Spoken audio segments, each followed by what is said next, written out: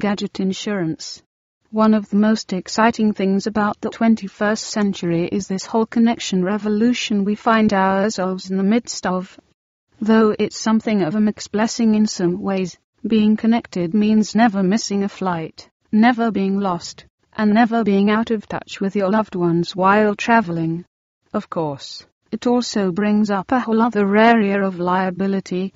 In the past, you would buy home insurance and car insurance, and that would more or less keep you covered in terms of the stuff you owned. Today, you might have anywhere from £100 to £1,000 worth of electronics on you at all times, with Zurich estimating £972 as the average walking wealth.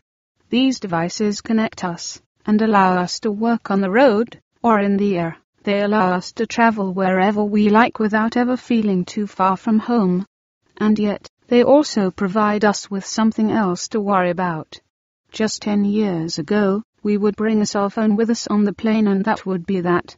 Nowadays, we probably don't even spend a night at a friend's house without bringing a laptop.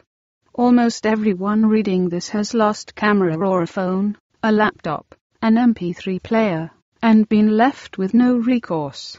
You can cancel your service or backup your files, but you can't retrieve a stolen or lost phone without a great stroke of luck.